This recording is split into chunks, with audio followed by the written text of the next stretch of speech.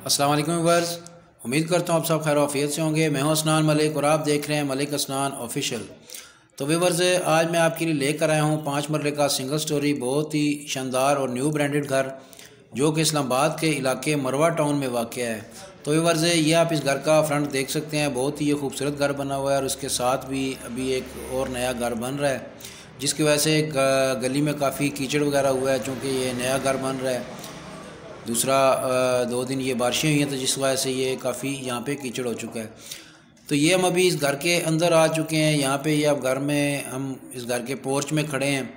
बिल्कुल मेरे सामने आपको इसकी मेन इंट्रेस्ट नज़र आ रही होगी और साथ ही विंडो है किचन की। और ये छत पे आप सीलिंग देख रहे हैं वाइट कलर और ब्राउन कलर की सीलिंग है। तो व्यवर्स पाँच मरले का ये सिंगल स्टोरी घर है, पच्चीस फुट इसका फ्रंट है और पचास फुट इसकी लेंथ है। और मेरे लेफ़्ट साइड पे ये स्टेयर्स ऊपर छत की तरफ़ जा रही हैं सिंगल स्टोरी ये घर है, ये जैसे ही हम कार पोर्च में आते हैं तो मेरे राइट साइड पे ये आपको फ्रंट पे गैलरी नज़र आई, नज़र आ रही होगी और उसके साथ ही ये ड्राइंग रूम का डोर है और बिल्कुल सामने मेन इंट्रेंस है। ये नीचे आप देख सकते हैं इस पर मार्बल लगा हुआ है। बिल्कुल अभी ये घर तैयार हुआ है, इसमें कुछ थोड़ा सा काम रहता है, एक तो बिजली की जो फिटिंग्स है, जिसमें फ़ैन्स वगैरह और फनूस वगैरह वो और लाइट्स वगैरह वो रहती हैं। दूसरा, इसमें बाथरूम की सेंट्री एसेसरीज़ का जितना सामान है, वो भी रहता है। वो जैसे ही कोई घर परचेज़ करता है तो ऑनर ये उसी वक्त सारी चीज़ें लगा कर देगा। तो भी वर्ष अगर फैसिलिटीज़ की बात करें तो इस एरिए में बिजली अवेलेबल है। उसके बाद सेवरेज बिजली और, पानी बोर करवाना पड़ेगा। यहाँ पे पानी का कोई मसला नहीं है। अस्सी नबे फुट तक अगर आप बोर करते हैं तो पानी आ जाता है, पानी की यहाँ पे कोई किसी किस्म की किल्लत नहीं है। बोर बरल अपना करवाना पड़ेगा आपको। दूसरा, बिजली यहाँ पे गली में तकरीबन जो पहले पुराने घर बने हुए हैं, उन पर मीटर लगे हुए हैं। ये चूँकि नया घर बना है और इस वक्त इस्लामाबाद के मीटर बंद हैं तो जैसे ही मीटर ओपन होते हैं तो यहाँ पे मीटर भी लग जाएगा। अलबत्त यहाँ पे गैस फ़िलहाल अवेलेबल नहीं है। तो ये हम अभी ड्राइंग रूम में खड़े थे, वहाँ से ये अभी टीवी लॉन्च में आ चुके हैं। ये आप देख सकते हैं, टीवी लॉन्च में बहुत ही खूबसूरत किस्म की ये सीलिंग हुई है। ओपन ड्राइंग रूम है, ओपन किचन है। ये हम अभी टीवी लॉन्च में खड़े हैं, मेरे लेफ़्ट साइड पे मेन एंट्रेंस का डोर आपको नज़र आ रहा होगा। सामने बिल्कुल किचन है और मेरे राइट साइड पे दो बेडरूम है। तो इस पाँच मरले घर का, पच्चीस पचास का ये प्लाट है, जिस पे ये घर बना हुआ है तो इसका सेम नक्शा वही है जो आम पाँच मरले का होता है। जैसे ही गेट से इंटर होते हैं तो सामने पोर्च है। फिर राइट साइड पे ड्राइंग रूम है ओपन ड्राइंग रूम है, ये आप देख सकते हैं, ये ड्राइंग रूम हम अभी कारपो टीवी लॉन्च में खड़े हैं और यहाँ ये सामने आपको ड्राइंग रूम नज़र आ रहा है। ड्राइंग रूम का अभी अटैच बाथ आपको सामने नज़र आ रहा है। साथ ही विंडो है जो फ्रंट गैलरी की तरफ़ खुलती है और ये पार्टीशन हुआ हुआ है, इसमें लकड़ी का काम हुआ है। टीवी लॉन्च और ड्राइंग रूम में जो पार्टीशन है। और ये सामने जैसे ही मेन इंट्रेंस से अंदर आते हैं तो टीवी लॉन्च में आकर राइट साइड पे ये पूरी दीवार पे ये अलमारी बनी हुई है। ये अलमारी आपको नज़र आ रही होगी। तो वीवर्स है, चूँकि मैंने आपको पहले बताया कि यहाँ पे अभी बिजली का मीटर नहीं लगा, इस घर में फ़िलहाल बिजली नहीं है तो इस वजह से ज़रा घर के अंदर अंधेरा है। कुछ वीडियो ख़ास नहीं बन रही, थोड़ी अंधेरे में बन रही है, लेकिन फिर भी आपको इसकी घर की पोजीशन बिल्कुल वाजिया नज़र आ रही होगी। अगर बिजली होती तो ये घर और भी वाजिया नज़र आता। ये हम अभी ओपन किचन है, मैं ये आपको किचन दिखा रहा हूँ। ये नीचे किचन कैबिनेट बने हुए हैं। ये सामने ऊपर मार्बल लगा हुआ है और टाइल्स लगी हुई हैं दीवारों पे। ये सामने विंडो है जो कारपोर्च की तरफ़ खुलती है वेंटिलेशन और रोशनी के लिए। साथ ही स्टेयर्स हैं इसके बाहर। ये ऊपर भी किचन कैबिनेट बने हुए हैं। काफ़ी खूबसूरत डिज़ाइन है ये।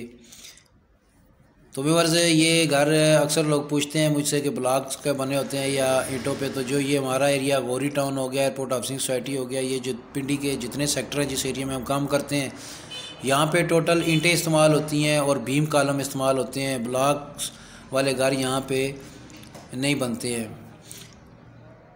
तो ये हम अभी इसके बेडरूम में खड़े हैं। सामने आपको एक डोर नज़र आ रहा होगा जो बैक गैलरी की तरफ़ खुलता है। ये आप इसकी सीलिंग देख रहे हैं छत पे।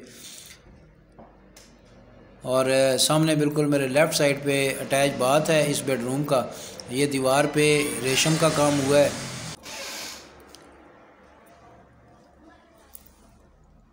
ये सामने इस बेडरूम की अलमारी है। तो से लाइट ना होने की वजह से ज़रा वाज आपको क्लियर ये बेडरूम नज़र नहीं आ रहे होंगे। लेकिन फिर भी काफ़ी हद तक अंदाज़ा हो जाता है बंदे को कि कितना अच्छा ये घर बना हुआ है।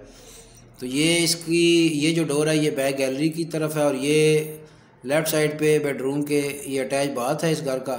तो यहाँ पे आप देख सकते हैं टाइल्स वगैरह कंप्लीट लगी हुई हैं। सेंट्री का काम अंडरग्राउंड सारा हुआ है। सिर्फ़ जो उसकी सेंट्री एसेसरीज़ हैं वाश बेसन हो गया, नलके वगैरह हो गए, ये अभी लगना बाकी हैं तो ये दो से तीन दिन का टोटल काम है। वाशरूम में जो सेंट्री एसेसरीज़ हैं, वो भी लगना बाकी हैं, और फैंस वगैरह और लाइट्स वगैरह लगना बाकी है तो ये दो से तीन दिन का काम है, ये जैसे ही कोई परचेज़ करता है, वो ऑनर ये कंप्लीट करके देगा। तो ये इसकी बैक गैलरी है, ऊपर आप देख सकते हैं, ऊपर रोशनी के लिए मग छोड़ा हुआ है एयर वेंटिलेशन और रोशनी के लिए, और उसमें सरिये का जाल लगा हुआ है सेफ्टी के लिए। तो एक दफ़ा फिर आपको मैं इसका किचन दिखा रहा हूँ। सामने विंडो है जो कारपोर्च की तरफ़ खुलती है। तो ये इसका अब दूसरा बेडरूम है। जैसे हम बेडरूम में एंटर होते हैं तो बिल्कुल सामने आपको मेरे लेफ़्ट साइड पे विंडो नज़र आ रही होगी जो बैक गैलरी की तरफ़ खुलती है और राइट साइड पे इसके साथ अटैच बात है। और जैसे ही बेडरूम में एंटर होते हैं तो मैन जो डोर है बेडरूम का, उसके राइट साइड पे इस बेडरूम की अलमारी बनी हुई है, जिस तरह दूसरे कमरे में बनी हुई है। यहाँ पे भी दीवारों पे रेशम हुआ और ये इसकी अलमारी है।